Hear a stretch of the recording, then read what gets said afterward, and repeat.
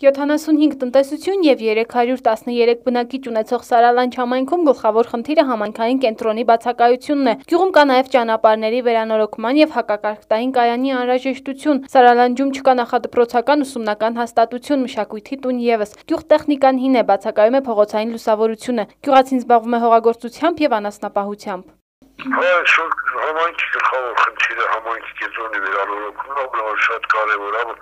որի մեջ մտնում է ակում, բուժկետի վերանորոգումը, դա օբշի մի համայնքի կենտրոնն է, էլի։ Իսկ հատուց խնդիրը միջհամայնքային փողոցների բարեկարգում